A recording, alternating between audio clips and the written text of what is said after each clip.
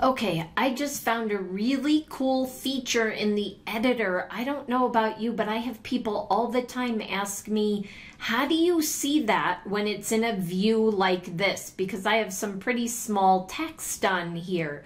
Well, this morning as I was editing a project, to put in the design templates, I noticed down here in the bottom right hand corner an hourglass or a magnifying glass and I clicked on the plus and voila! I now can actually see that smaller text and see what it would look like. So I just wanted to share that really quick tip and notice I am moving it up and down over here on the right. And if I want to go back to see it all, I just hit the minus. So uh, I hope you're as excited about that new feature as I am.